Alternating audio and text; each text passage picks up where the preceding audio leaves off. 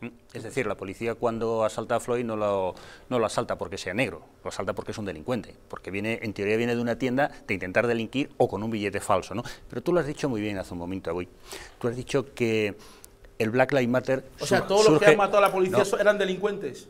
Yo, estoy hablando de, yo estoy, hablando, estoy hablando, estoy hablando de este caso concretamente y te, voy a dar la razón, te voy a dar la razón si me dejas, si me dejas y vas a entender, vas a entender mi explicación. Es decir, el Black Lives Matter surge precisamente por eso, para la defensa ¿eh?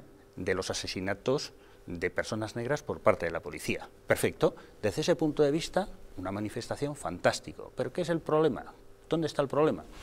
Cuando la izquierda, la ultraizquierda entra de lleno y pone la ideología en el fondo de la cuestión. Es decir, lo mismo, lo mismo que está ocurriendo aquí con determinadas, con determinadas políticas ideológicas, como pueda ser el ir contra el hombre en beneficio de, la mujer y demás. Entonces, cuando tú ideologizas el sentido de las cosas, todas pierden, todas pierden su, su forma de ser, ¿no? Pero tú me das una serie de nombres y todos reparamos en Floyd pero no, no reparamos en David Dorn, en David Underwood, en Italia May, en José Gutiérrez, en, Oshea Brown o en el mismo Sky Mikalmis. Es decir, todas estas personas que te acabo de citar son personas que han muerto en las protestas ¿eh? en las protestas que ha levantado la ultraizquierda por el asesinato. Han muerto por la violencia desatada en estas por protestas. Por la violencia desatada en estas protestas. Los dos primeros,